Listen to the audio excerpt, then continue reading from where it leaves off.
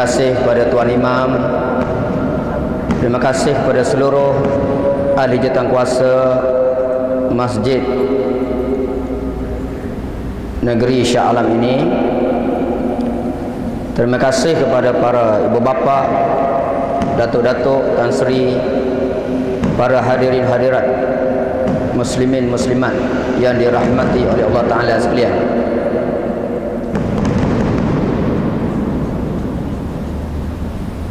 Sebelum saya menjawab Persoalan yang dikemukakan oleh Tuan Pengurusi Tentang punca-punca gejala Yang berlaku Kepada Remaja-remaja umat Islam yang terjebak dengan gejala sosial pada masa kini suka saya membacakan firman Allah taala. A'udzu billahi minasyaitonir rajim Zahara al-fasad fil barri wal bahri bima kasabat aydin nas liyuziqahum ba'da allazi 'amilu la'allahum yarji'un Sadaqallahul azim. Surah Ar-Rum ayat 41 yang bermaksud telah zahir kerosakan kemusnahan di darat dan di lautan. Hasil daripada kerja tangan-tangan manusia itu sendiri supaya dirasakan kepada mereka sebahagian daripada apa yang telah mereka buat. Mudah-mudahan dengan musibah yang menimpa mereka mereka kembali semula kepada Allah Subhanahu wa taala. Sahabat ahli panel saya rasa bertuah pada malam ini dapat bersama-sama di masjid yang indah ini dan saya banyak kali lah mengikuti forum-forum perdana di masjid-masjid yang kecil lah berbanding masjid negeri di Selangor. Tapi tak sangka malam ni ya ha, begitu ledakkan gejala sosial yang berlaku. Seolah-olah cuba mencabar majlis mengingati Allah majlis membesarkan Allah majlis nak menginsafkan manusia supaya kembali kepada Allah seolah-olah ada pihak yang cuba mencabar dengan membuat gangguan yang sebenarnya rupa. Saya percaya kalau azan yang dilaungkan di dalam masyarakat orang bukan Islam ada report polis yang akan dibuat. Tidak puas hati kerana azan yang dilaungkan itu mengganggu tidur mengganggu hak individu. Tetapi kita lihat pada hari ini jelas.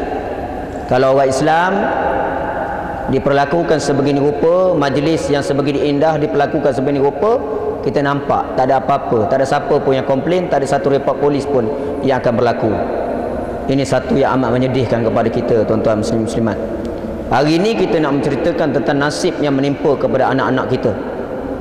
Kalau kita nak lihat kepada bagaimana negara ini akan membangun bagaimana kemajuan tamadun yang kita kecapi dengan pembangunan yang kita nikmati pada hari ini adakah ia akan berkekalan? Bolehlah diukur dengan apa yang berlaku kepada anak-anak generasi muda-mudi kita kerana mereka inilah yang akan bakal memimpin negara kita satu hari nanti. Bila kita sudah tua dan kembali kepada Allah yakni mati lihatlah anak-anak muda kita dan anak-anak muda kita inilah anak-anak kita yang sedang membesar inilah merupakan aset yang amat penting bagi membangunkan agama Allah Subhanahu taala untuk masa akan datang. Tapi tuan-tuan muslimin muslimat sekalian tidak bimbangkah kita kalau melihat apa yang kita pamerkan sedikit saja daripada VCD itu tadi? Saya buat research VCD tu 3 tahun. Turun ke lokasi Bukit Bintang, Jalan Telawi, Kecokit ya, tempat-tempat gadis-gadis berpelesiran tempat resi motosikal ya, tempat pengedaran VCD lucah ya, tempat anak-anak muda melakukan keseronokan bertuhankan hawa nafsu pada malam-malam minggu pada malam merdeka malam tahun baru ya. Kita turun sendiri dan saya membuatkan sedikit sedutan itu bukan dengan niat. Untuk mengaibkan sesiapa. Nauzubillah min zalik. Lebih-lebih lagi lah mencemar kesucian rumah Allah Subhanahu wa taala ini. Tidak sama sekali tuan-tuan. Kita dah tapi habis dah tu. Dah potong habis dah.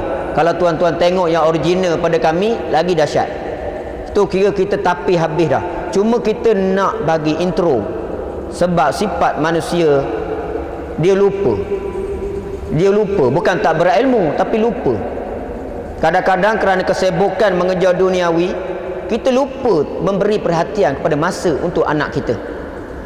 Kadang-kadang mengejar pangkat mengejar kemajuan akademik 17A1 kita nak capai dalam peperiksaan kita lupa nak menjaga anak supaya menjaga solat lima waktu kerana nak mengejar 17A1 kadang-kadang bila kita sibuk nak mengejar masa kita hari-hari mengejar tamadun duniawi yang kita kejar siang dan malam untuk membangunkan segala infrastruktur yang kita perlukan. Sama ada rumahnya, keretanya, kerjayanya, bisnesnya apa jua yang kita kejar. Rupanya kita telah memberikan masa yang terlalu sedikit untuk kita memikirkan tentang umat untuk kita memikirkan tentang generasi anak-anak muda kita yang semakin hari semakin hanyut dibawa oleh arus budaya-budaya daripada barat budaya-budaya kuning yang dibawa oleh orang kafir untuk memusnahkan akidah dan akhlak mereka. Bukti yang telah saya tunjukkan tiga tahun research mereka bukan hanya melakukan maksiat di taman-taman bunga di kawasan-kawasan rekreasi tapi kita boleh lihat dalam Masjid Asyakirin dalam Masjid Asyakirin KLCC masjid yang indah Malam Merdeka 2003 penuh anak-anak muda berpakai tak senonoh ya? Terdedah sana terdedah sini berpeluk dalam masjid tu yang saya tegur tu tadi. Mereka melakukan maksiat sampai dalam rumah Allah tuan-tuan. Anak-anak muda kita Masya Allah bukan seorang beratus. Masya Allah tuan-tuan. Jadi sungguh menyayatkan hati. Dan apa yang saya ceritakan tadi malam tahun baru 2005 ini dah ketika kita ditimpa tsunami patutnya kita dah insaf dah. Perdana Menteri kita dah haramkan konsert. Jangan dilaksanakan menghormati masa-masa bencana tsunami. Ya? Mengerjakan solat hajat di masjid negara. Tu dia Perdana Menteri kita. Tetapi sedih tuan-tuan. Anak-anak muda kita rupanya tak insaf. Mereka terus berpesta di Bukit Bintang. Malam tu saya turun. Habis ceramah saya pergi turun. Masya Allah sedihnya saya melihat anak-anak muda tanpa segan silu bercium beromen depan saya. Pakai tak senonoh nampak buah dada beromen depan saya minum arak. Masya Allah tuan-tuan saya tak tergamak melihat anak bangsa saya macam tu. Tak tergamak sedara seagama saya macam tu. Maka kita menegur dengan nasihat yang baik. Tolonglah jangan buat macam ni. Kasihanilah kedua ibu bapa kamu. Kasihanilah mereka. Tolong jangan malukan maruah bangsa. Tolong jangan malukan maruah agama kita. Malu kita kalau orang yang bukan Islam tengok orang Islam rupa macam ni. Ya tetapi malangnya saya sendiri jadi tangkapan. Ya ditangkap masuk dalam lori dibawa ke D7 tingkat 7 IPK Kuala Lumpur. Disumbat sampai pagi. Ya oleh polis bukan Islam. Kerana apa dituduh menyamar? Ah, inilah tuan-tuan kerja yang kita buat kita bukan dapat gaji tapi kena gegaji jadi kerja kami daripada pihak NGO ni kerja volunteer kerja sukarela tak ada gaji tak ada jawatan tak ada kuasa tak ada glamour. Tetapi tuan-tuan kalau saja tengok saja benda yang berlaku. Pihak berkuasa tak mampu tuan-tuan nak buat seorang-seorang. Kekuatan tenaga penguat kuasa pun terhad. Kekuatan anggota pihak polis pun terhad. Bidang kuasa yang mereka ada juga terhad bukan semua perkara mereka boleh buat jadi orang awam terlalu penting untuk memainkan peranan Justru itulah kita tampil juga beri bantuan walaupun dalam keadaan kepayahan. Dan antara yang kita buat selain daripada program pemulihan, rawatan ini kita buat program pencegahan. Ni tengah buat motivasi pelajar-pelajar bermasalah di Bandar Baru Bangi ni. Ni balik ni terus pimpin Qiyamullah, terus pimpin program untuk remaja-remaja sekolah-sekolah yang bermasalah. Ya. Ha, jadi kita tak berhenti untuk terus menyelamatkan anak-anak kita yang dah mula merokok, yang dah mula lawan ibu bapa, yang dah mula buat macam-macam. Kita kena usaha sebab bila kita pergi ceramah kat surau, kat masjid, ibu bapa mengadu, "Ustaz, anak saya macam ni, ustaz, anak saya macam ni." Macam mana ustaz, apa yang mesti saya buat? Anak remaja dah mula merokok lawan ibu bapa, takkan nak report polis. Jadi benda itu tanggungjawab untuk mendidik balik. Ibu bapa banyak tak ada masa, sibuk dengan kerjaya. Jadi anak-anak ini dipengaruhi oleh budaya-budaya luar yang menyebabkan anak-anak kita yang pada satu ketika akhlaknya baik dengan kita, elok, bagus, tiba-tiba jadi anak derhaka tuan-tuan. Cuba bayangkan pelajar universiti, tu tadi IPT. Fail yang unit cegah maksiat buat, ni fail. Dalam setahun kami buat teguran, nasihat, kaunseling, taubatkan lebih 300 pasang. Termasuk pelajar-pelajar universiti yang buat maksiat yang kita tunjuk tadi di Taman Tasik, Cempaka di Bandar Baru Bangi yang didedah dalam mestika. Ni dia tuan-tuan, ya, berlambak dengan kad metrik semua ada dalam ni. Termasuk yang bukan Islam, balun orang Islam dalam kereta pun ada ya ha, semua ada dalam bukti-bukti. Ini menunjukkan bahawa krisis moral krisis akidah di kalangan remaja kita termasuk pelajar-pelajar APT sedang meruncing sekarang ni sebab saya ni pejabat di Bandar Baru Bangi saya terdedah dengan kawasan yang elit yang dikatakan bandar ilmu. Tetapi bila kita turun ke pasar-pasar malam kita turun ke tempat-tempat rekreasi Masya Allah tuan-tuan mereka sudah seolah-olah kehilangan akhlak kehilangan diri seolah-olah jumpa teman lelaki baru 2-3 hari baru 2-3 bulan dibesar oleh ayah 21 tahun 22 tahun 23 tahun. Baru jumpa teman lelaki 2-3 hari dia boleh tinggalkan mak ayah dia. Dia boleh lupa ajaran ilmu agama yang dia belajar. Dia boleh peluk tu tadi terang-terang dia cium tu. Kita shoot kamera dulu sebelum kita pergi tegur tu kita pergi rapatkan kamera kita kamera tepi telinga pun dia tak sedar tuan-tuan. Ha tu punya puak-puak. Ya sebelum kita pergi buat teguran ya nasihatkan mereka mengikut bidang yang kita ada. Ya tuan-tuan. Dan dalam fail saya ni banyaklah. Ya sebab saya menyelamatkan banyak berpuluh-puluh kes gadis-gadis Melayu yang keluar anak luar nikah yang murtad. Ya pelajar-pelajar termasuk pelajar kisda pun ada murtad. Ya yang kita selamatkan yang dah tujuh kali masuk gereja pun ada ya. Yang minum holy water pun ada ha? pelajar-pelajar yang kita selamatkan. Tanpa gaji tanpa jawatan. Inilah usaha kita tuan-tuan. Ya muslimin muslimat sekalian. Saya sekadar intro dulu mengapa saya tayangkan benda itu? Sebab saya tak nak jadi fitnah. Nanti orang kata apa pula perkit ni buat tayang macam tu pula? Ha? nak malukan masjid ni nak malukan orang ramai nak malukan anak Melayu. Tidak tuan-tuan sebab kita ni insan kita ni pelupa. Kita perlu diingatkan. Kadang-kadang ustaz ceramah saja tak cukup nak mengingatkan kita. Cuma masuk kat telinga sebab mata kita tak tengok. Sebab tuan-tuan tak turun. Malam minggu tak turun pergi tengok mereka buat apa. Dari sebab itu kita introkan benda ini dengan tujuan supaya boleh menyedarkan sikit. Menyentap sikit perasaan kita. Menyentap sikit rasa keimanan di hati kita kalau ada lagi. Supaya kita turut sama-sama memeterah gejala ini. Faktor banyak. Kalau saya nak urai berpuluh faktor yang menyebabkan berlakunya punca-punca gejala sosial ni. Cuma saya ambil yang ringkas saja. Faktor asasnya ialah pembangunan material atau pembangunan duniawi tidak seimbang dengan pembangunan ukhrawi. Sama ada di dalam sama ada dalam diri orang yang terlibat atau dalam keluarga yang mempunyai mangsa itu ataupun dalam masyarakat atau dalam negara. Makna kita ini tak seimbang. Hari-hari kita di-highlightkan untuk mengejar kemajuan duniawi. Hari-hari kita di-highlightkan dengan kesenangan duniawi. Hari-hari kita di-highlightkan dengan pencapaian pencapaian yang tinggi. Dalam bab mencari dunia. Tapi dalam bab nak didik anak untuk jaga solat nak didik anak jangan jadi derhaka nak didik anak supaya taat kepada ibu bapa. Menghormati guru. Jangan tengok VCD lucah. Jangan tengok website lucah. Jangan tengok majalah lucah. Jangan buat benda-benda tak senonoh. Jangan mencuri.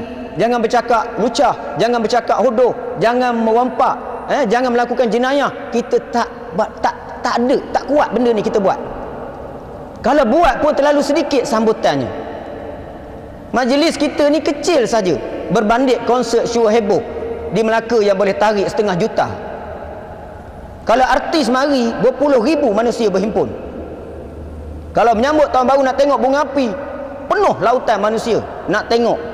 Tapi kalau kita nak sebut nama Allah, nak fikir tentang masa depan kita nak menghadap Allah, nak fikir tentang tentang umat, tentang masa depan anak-anak kita berapa yang nak ambil berat berapa yang nak datang ha, inilah tuan-tuan sebab itu Allah menurunkan bala bila kita nak tinggalkan agama Tuhan bagi selalu bala. Kita kufur kita engkar dan kitalah yang kena bertanggungjawab terhadap musibah yang Allah Ta'ala timpakan kepada kita. Dari sebab itu tuan-tuan saya rasa sekadar itu saja untuk intro round yang pertama ini mudah-mudahan dapat memberikan gambaran dan akan diteruskan oleh panel yang seterusnya insyaAllah. Terima kasih. Assalamualaikum warahmatullahi wabarakatuh. Alhamdulillah bihi nasta'in Wassalatu wassalamu ala rasulihil amin Wa ala alihi wa sahbihi ajma'in wa Yang saya hormati Tuan Pengurusi Majlis Sahabat-sahabat Ali Panel Muslimin, muslimat, hadirin dan hadirat yang dimuliakan Allah. Saya turut merakamkan rasa gembira pada malam ini kerana dapat bersama-sama dengan tuan-tuan. Walaupun majlis kita kecil tak ramai bilangannya. Tapi dengan niat yang baik dengan keikhlasan hati yang ada kepada kita mudah-mudahan ianya merupakan titik tolak perubahan yang baik kepada kehidupan ummah kepada kehidupan masyarakat Islam bila kita lihat tayangan video tadi dan kita membaca pendedahan-pendedahan dari masa ke semasa oleh media masa oleh majalah-majalah yang tertentu dapat kita membuat kesimpulan bahawa memang sesuatu yang pernah disebut oleh Nabi sallallahu alaihi wasallam memang berlaku pada zaman kita. Sebab satu ketika Rasulullah pernah bercakap di hadapan para sahabat Nabi menyebut kaifa antum idza tagha nisaukum wa fasaqa shababukum wa taraktum jihadakum Nabi menyebut keadaan kamu wahai umatku yaitu umat akhir zaman jika berlaku idza tagha nisaukum wanita melampaui batas. Wa fasaqa syababukum orang muda rosak. Wa taraktum jihadakum kamu meninggalkan jihad suatu usaha yang sungguh-sungguh bagi menegakkan agama. Nabi sebut tiga perkara dan tiga perkara ini berlaku. Walaupun sahabat bila Nabi sebut begitu sahabat bertanya kepada Rasulullah wa kainun dzalika ya Rasulullah? Ya Rasulullah adakah perkara demikian boleh berlaku? Sebab sahabat-sahabat sendiri tidak terfikir Kalaulah sahabat-sahabat tengok tayangan yang disebut oleh Ustaz tadi suatu yang telah ditapis Barangkali sahabat tidak percaya itulah umat Rasulullah sallallahu alaihi wasallam. Tiga perkara yang menjadi di antara punca gejala sosial yang berlaku pada hari ini wanita melampaui batas. Melampaui batas bila sebut tara melampaui batas dalam banyak sudut hari ini kita tengok yang minta bukan-bukan pun yang pelik-pelik pun. Soal supaya jangan jaga tepi kain orang dan sebagainya. Antara yang banyak menyebut ini ialah persatuan wanita yang kononnya kait dengan nama Islam. Tak kiralah nama sister Islam ke wanita Islam apa ke. Yang menyeru kepada sesuatu yang di luar batasan kehendak syarak. Ataupun melampaui batas dengan erti kata ketika bergaul. Melampaui batas dalam pergaulan dalam berpakaian. Nabi sebut kepada kita. Kemudian Nabi sebut wa fasaqa syababukum orang muda kamu jadi rosak remaja jadi rosak. Wa taraktum jihadakum kamu meninggalkan sesuatu. Jihad perjuangan bagi menegakkan agama Allah. Bila saya katakan tadi bila Nabi sebut begitu sahabat bertanya ya Rasulullah adakah perkara demikian boleh berlaku Nabi kata wa asyaddu minhu sayakun. Yang lebih teruk daripada itu boleh berlaku.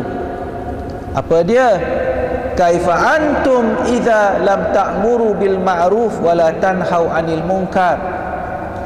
Bagaimana sampai satu saat satu ketika kamu tidak lagi mahu menyuruh perkara yang ma'ruf dan mencegah perkara yang mungkar sama ada dengan kuasa dengan kata-kata dan yang paling rendah nilainya ialah benci dalam hati. Yang cukup membimbangkan benci pun tak ada. Tak apalah. Bila sebut tak apalah benci tak ada. Benci tak ada. Lalu sahabat bertanya wa kainun dzalika ya Rasulullah? Ya Rasulullah adakah perkara demikian boleh berlaku? Maka Nabi sallallahu alaihi wasallam menyatakan wa asyaddu minhu sayakun. Lebih teruk daripada itu pun boleh berlaku. Apa dia?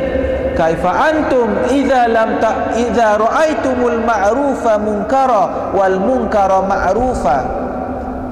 Bagaimana sampai saat sampai ketika umat Islam ini melihat perkara yang ma'ruf itu mungkar yang mungkar itu ma'ruf ini sesuatu yang Nabi sebut dan berlaku di hadapan mata kita.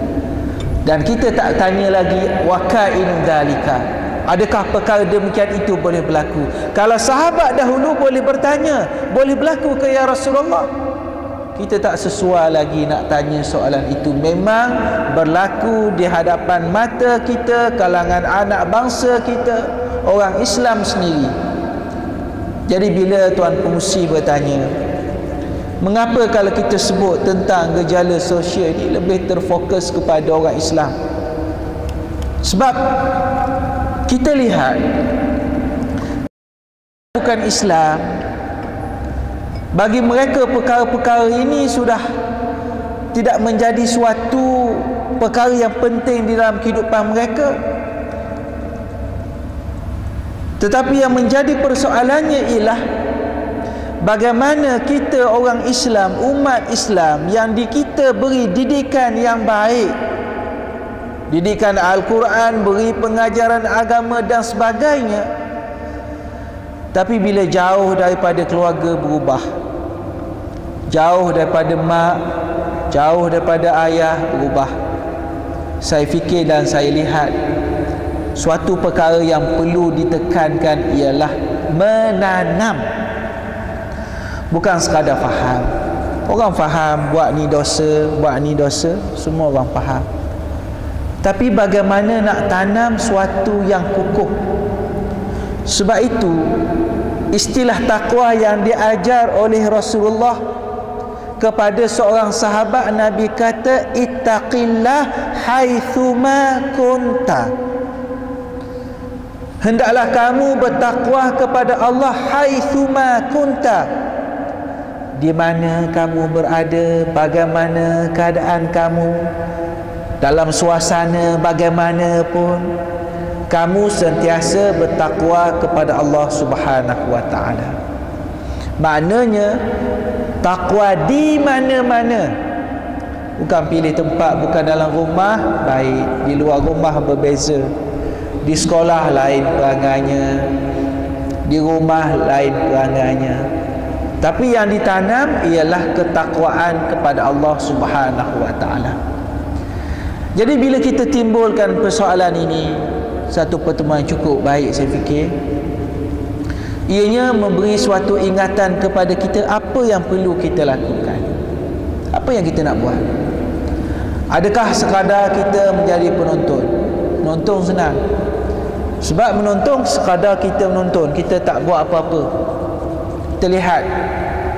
Ataupun kita nak buat sesuatu kita nak lakukan perubahan mengikut kemampuan kita.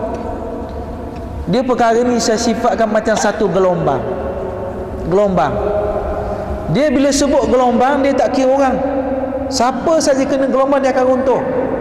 Walaupun anak, anak ustaz anak tuan guru anak siapa pun kalau kena gelombang ni runtuh hancur. Tapi sikap kita sebagai umat Islam khairah ummah kita tidak boleh berputus asa. La taqnatu min rahmatillah. Jangan kamu berputus asa daripada rahmat Allah. Sebab sudah tentulah bila ada masalah ada jalan keluar.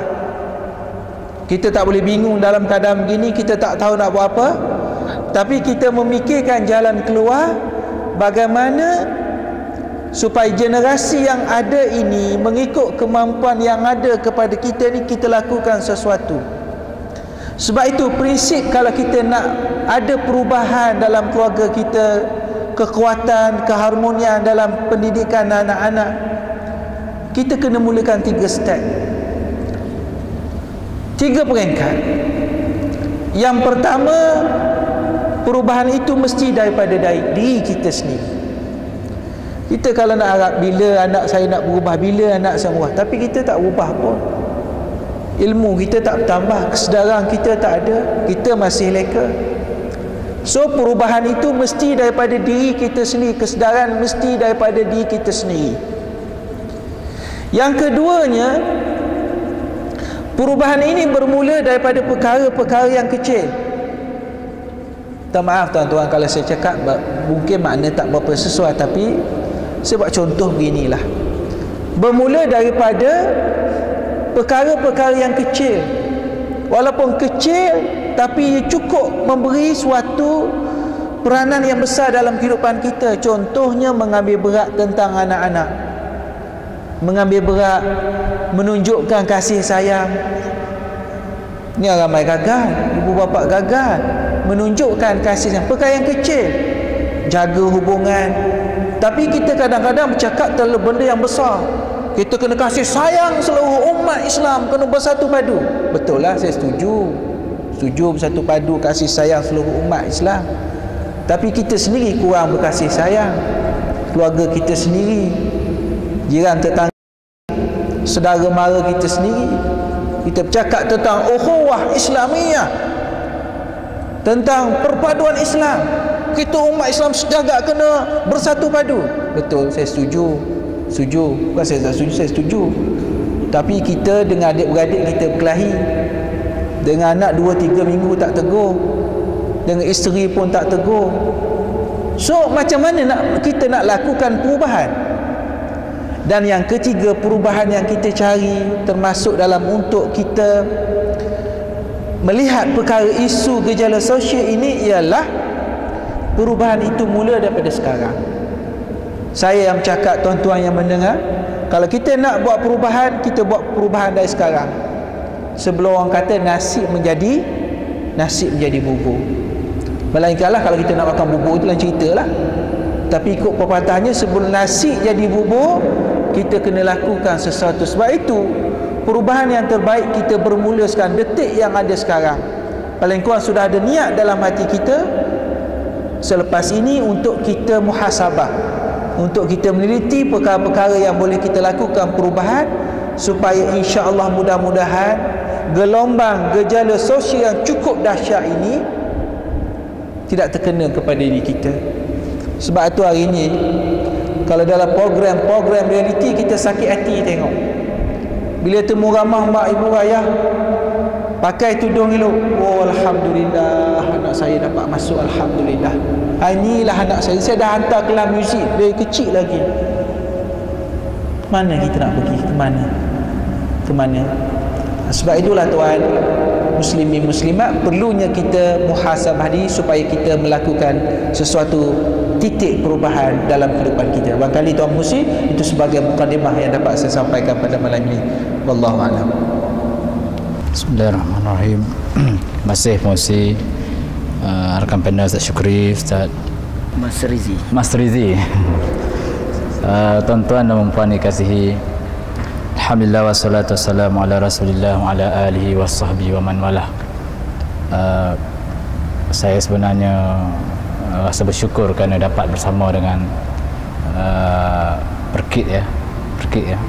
Cuma Perkit ni tak tak promosikan sungguh-sungguh ya. Kurang lagi kurang. Ha, ya. Jadi sebenarnya jemaah kita ni kalau kena caranya boleh ramai ya. Cuma kurang promosi saya rasa. Kita pun masjid kita ni pun uh, tuanku pun tak benarkan nak pasang banner sekarang ni. Itu masalah kita sekarang ni. Jadi susah nak sampaikan mesej kepada jemaah. Dan kalau selalu kita buat program malam Jumaat baru dia ramai sikit lepas baca yasin kita boleh terus. Kalau malam biasa ni memang memang kurang lah apatah lagi kita bersaing eh, dengan sebelah tu. Saya tak tahu siapa yang datang hari ni inilah masalah masjid negeri kita. Ha, kadang-kadang malu juga nak bercakap soal mencegah kemungkaran ni. Ha, sebab masjid negeri kita ni betul-betul berjiran dengan kemungkaran. Ha, dan tak tahu apa nak kata nak buat. Tapi satu inspirasi juga pada saya apabila Perkit datang ke sini mengingatkan kita tentang tanggungjawab ini. Masjid Negeri pun sedang merancang supaya kita nak wujudkan satu satu jawatan kuasa yang akan round uh, Taman Tasik lah.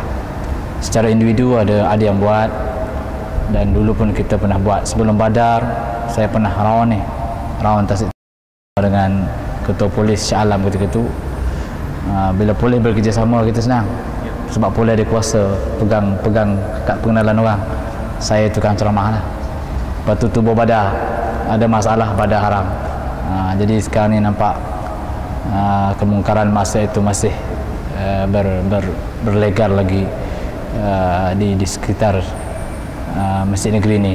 Uh, tasik lah. Kita merasakan yang jauh tu Yalah sebelum kita jauh kita dekat lah kan. Ha, Yang jauh yang dekat ni dulu Dia menjawab kepada soalan pengusi tentang tarbiyah. Saya pun sebenarnya bila cakap soal tarbiyah dan pendidikan hari ini ha, Saya sendiri pun terhadap anak-anak saya sendiri pun Saya tak ikut arus perdana Ustaz. Anak-anak saya semua sekolah swasta. Ha, Sebab bimbangnya bila letak Nak letak anak kat sekolah kebangsaan bergaul dengan berbagai-bagai latar belakang. Ha, minta maaf anak orang kaya Syah Alam ni. Anak datuk, anak datin dan sebagainya ni lain pembawaan dia. Kita orang kampung ni lebih selesa kat kampung lagi sebenarnya. Ha, kalau kat kampung kita tak takut sangat dengan cabaran moral ni ni. Tapi bila di bandar ni memang kita bimbang. Ha, sebab itu anak-anak saya saya tak letakkan di, di sekolah biasa walaupun seorang kerajaan tapi saya tak hantar sekolah kerajaan ha, ya? Ha, sebab bimbangnya soal ini sebab apa-apa berlaku pada anak saya bukan kerajaan nak jawab. Saya sendiri yang akan jawab. Sebab itu saya walaupun susah susah juga Azad 400 setengah 300 setengah. Jangan main-main. Uh, kalau tujuh orang ustaz kira lah. Gaji 2000 lebih je. Tapi oleh kerana merasa tanggungjawab untuk menyelamatkan moral anak-anak ni Uh, tambah pula saya Ustaz Syukri ni memang sibuk kan uh, bimbang anak-anak kita terbiar. Sebab itulah memang menjadi dilema kita bila kita bercakap soal tarbiyah soal pendidikan soal akhlak. Uh, memang inilah dilema kita sebenarnya. Sebenarnya walaupun dasar pelajaran kita dah berubah berubah berubah berubah uh, mungkin dipertingkatkan dipertingkatkan dengan uh, KBSR-nya KBSM-nya bersepadunya. Tetapi yang nyatanya belum bersepadu lagi. Ya, ilmu hanya tinggal dalam benak dalam pemikiran dalam teori-teori. Ha, hanya belajar untuk dapat sijil. Itu saya baca sejenak tadi laporan fail ni ustaz ustazah pun ada juga yang buat maksiat. Dan rata-rata saya tengok semua pakai tudung. Ini yang memalukan kita tuan-tuan ha, artinya bukan dia tak reti tu. Ha, dia reti tentang kewajipan tentang aurat dia mengaji agama banyak latar belakang agama saya saya baca sekali bahas tadi. Artinya tuan-tuan bukan ilmu tapi persekitaran. Bukan soal ilmu soal ilmu ustaz ustazah sekarang Jacob lagi ustaz. Masuk ke sekolah agama kita ni kan masuk sekolah kemasaan ha. saya percaya ustaz-ustaz mengajar betul lah ya. soal bagaimana ketuhanan soal siapa Tuhan yang disembah soal bagaimana taharah yang betul bagaimana semayang betul bagaimana menutup aurat bagaimana akhlak umat Islam saya percaya ustaz-ustaz kita dah menyampaikan tetapi barangkali di sana berlaku percanggahan nilai. Ha, ini percanggahan nilai. Yang di dalam sekolah, dalam subjek agama, ustaz-ustazah suruh pakai tudung contohnya. Tetapi bila keluar daripada subjek agama, terpulanglah nak pakai apa pun. Ha, bila riadah, bila bersukan, lain pula caranya. Ha, bila maulid Nabi, ha, kebesaran agama, semua pakai tudung, pakai baju kurung. Nah, seolah-olah Allah ini hanya dalam majlis tertentu saja adanya. Allah cuma aja di surau Allah hanya di masjid Allah hanya dalam majlis-majlis agama. Tetapi di luar daripada itu di pasar di tempat sukan di padang tempat-tempat perhimpunan di konsert-konsert rock ha, maka Allah tidak ada lagi pada ketika itu. Ini yang sebenarnya percanggahan nilai. Ustaz ustazah aja betul lah. Ha, tapi bila balik rumah mak bapak tak semayang. Ha, contohnya mak bapak tak menutup aurat persekitaran tidak membina. Ha, di kuartus masjid negeri itu sendiri pun begitu. Tok Imam nak masuk susah pejam mata. Ha, pejam-pejam tengok juga jiran-jiran kiri kanan. Berselengking di istilahnya berselengking. Ha, istilahnya pakai apa tu? Ya, pakai pakai pakai nak baju je. Ha, ya, nak tak nak tengok tengok jugalah. Ha, itu dia. Bukan nak sangat tengok tapi tertengok. Ha, ya, tengok jugalah. Ha, itu masalahnya. Jadi persekitaran persekitaran itu menyebabkan langsung. Sebab kita nak bina terbiah ni pertamanya dia ada manhaj manhaj yang jelas. Mesti tahu apa kita nak bawa ke mana kita nak bawa pemikirannya akhlaknya ha, syaksiahnya ke mana kita nak bawa? Akidahnya ke mana kita nak bawa? Ha, mesti ada manhaj yang jelas. Nak melahirkan orang yang kenal Tuhan. Nak melahirkan orang yang berakhlak. Melahirkan orang takut pada Allah. Merasai muraqabah Allah. Penjagaan Allah di mana-mana. Ha, bukan saja kat rumah bukan saja kat sekolah. Bagaimana dia kalau keluar rumah? Bagaimana dia di mana-mana? Ha, mesti ada. Mesti jelas dalam manhaj dalam kurikulum dalam sukatan. Yang kedua mesti ada persekitaran persekitaran hari ini tuan-tuan mengancam. Mengancam moral kita. Ya. Di rumah mungkin kita boleh didik anak kita. Keluar rumah saja dah terdedah dah. Pergi ke komplek PKS dah terdedah dah. Ha, memang kat situ pun tempat terdedah. Ha, ya.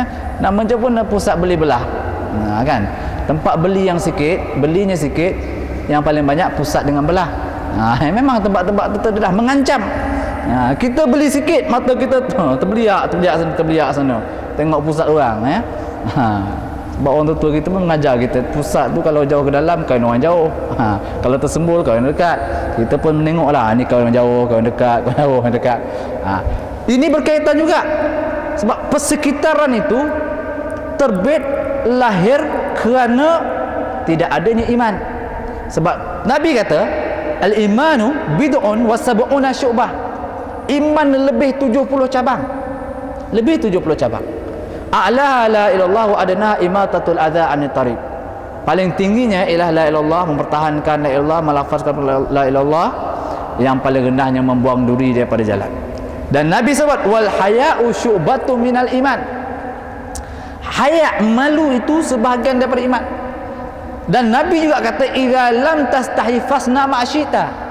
Bila kamu dah tak ada malu, kamu akan buat apa yang kamu nak buat. Ini yang berlaku hari ini. Umat yang Ustaz Sukri kata tadi tara syababukum tu. Ha, umat yang tara, umat yang fasik kerana sudah tidak ada malunya. Sudah tiada kemaluannya. Ha itu tuan-tuan. Ha, dah tak malu dah tak adalah kemaluannya. Ini umat yang dahsyat hari ini tuan-tuan. Kalau yang pakai nampak pusat tu malu ke tu? Pusat yang patut ditutup kalau itu pun tak boleh ditutup memang dah tak ada dah kemaluannya ha, pakai seluar jenguk ke depan nampak jenguk ke belakang nampak apa jenis apa ni? Ini bukan bukan manusia ni. Ha, haiwan punya jenis pakaian. Haiwan punya jenis tamadun. Ha, tapi inilah yang berlaku di rata-rata mana-mana. Ha, persekitaran ini yang mengancam kita. Didik pun anak baik-baik tapi bila dia keluar tengok sana tengok sana tengok sana tengok sini habis. Wah hafaz Quran pun hilang hafazannya. Hmm, tak ingat dah Ustaz. Duduk macam alam ni dah tak ingat Quran dah. Tahu? Sebab persekitaran itu belum lagi yang dalam rumah yang TV-nya, internetnya, video lucahnya. Ah, tuan-tuan. Generasi kita persekitaran yang terlalu uh, penyanyinya, apa lagi? Artisnya, bosianya, bojannya, uh, ratu cantiknya. Uh, ya, ratu cantik Indonesia pun pergi ke ke Phuket kan. Ha, tu dia. Uh, ulama bercakap dia ulama dicabarnya tak ada masalah eh, sama juga kita dulu kan ulama cakap suhebo suhebo ni eh, gitu jugalah jalan-jalan jugalah. Eh, uh, kita forum dia pun jalan juga sebelah tu tak ada masalahnya. Ha, itu persekitaran ni sebenarnya yang membimbangkan. Walaupun kita didik terbiah cantik tapi persekitaran tu mengancam. Dan yang ketiganya tuan-tuan ialah tidak ada role model. Tidak ada role model. Nak didik orang mesti ada contoh.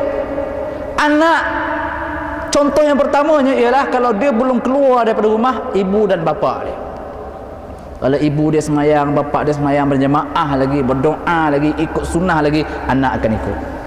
Ha, dah lah kat rumah tak ada. Pergi pula ke sekolah. Cikgunya pun lebih kurang juga. Cikgu kata kamu jangan seokok sebab 18 SX je yang boleh seokok tadi. Ha, itu dia. Ha, jadi artinya yang menyuruh jangan isokok isokok tak ada contoh tak ada contoh. Ha, ha, guru mengajar juga. Kamu jangan boleh jangan buat. Saya buat tak apa. Ha, ikut apa yang saya cakap. Hmm. jangan ikut apa yang saya buat. Ha, ni mana boleh pakai sama sekarang ni? Budak kita lagi cerdik lagi. Tak ada role model. Ha, ikut bapa tak boleh ikut cikgu tak boleh. Akhirnya dia ikut kawan-kawan dia. Ha, kawan-kawan dia pun masalah sama dia juga. Mengadu kat kawan dia. Kawan dia pun fatwa. Dallu adallu. Sesat lagi menyesatkan. Namanya pengaruh rakan sebaya tu ha, jadi tuan-tuan tiga perkara yang cukup penting. Ke mana kita nak bawa generasi kita? Bagaimana? Yang kedua ialah persekitaran itu bagaimana kita nak ubah? Nampak gayanya berat tenat. Yang ketiga tidak ada role model. Pemimpin-pemimpin mestilah buat apa yang sepatutnya yang Islam kehendaki. Kalau dia suruh mencegah mengajak budaya hidup berkualiti maka dialah sebenarnya contoh yang pertama apa segala perkara-perkara yang membawa makruf dia canangkan dia sebarkan ha, macam kempen budaya apa budi bahasa. Itu baguslah. Ha ya, dicanangkan. Tapi dalam masa yang sama juga kemungkaran juga mesti di, di, di, dicegah. Ha, budaya-budaya seperti yang kita nampak tontonkan tadi ini kalau tuan-tuan kalau kita dapat berjaya buat tiga ni baru boleh selesai. Tapi nampak gayanya cukup cukup sekar. Sebab dia bukan saja individu macam saya kata tadi lah, saya nampak, saya tahu nak berbuat. Tapi bagaimana saya nak ubah satu sistem, saya nak ubah satu tempat, saya nak ubah, tentulah orang-orang yang berkuasa. Sebab itu ada peraturan. Ha, ini peraturan pun tak boleh buat sekarang ni Ustaz. Ha, orang buat peraturan pun tak boleh. Ha, ya, dalam surat khabar hari ni, Jakim dah buat dah. Apa Ustaz macam tu? Ha, tata cara lah untuk uh, hiburan. Hmm. Tapi ada pula orang kata tak boleh bercanggah dengan perlembagaan. Ha, bercanggah-bercanggah diam-diam je lah. Ha, bagi jalan je lah. Ini nak bising juga. Orang mungkin tahu pun bercanggah tak bercanggah. Ha, ini masalahnya. Peraturan dah baik. Ha, orang kita juga. Artinya tentang inilah masalah kita.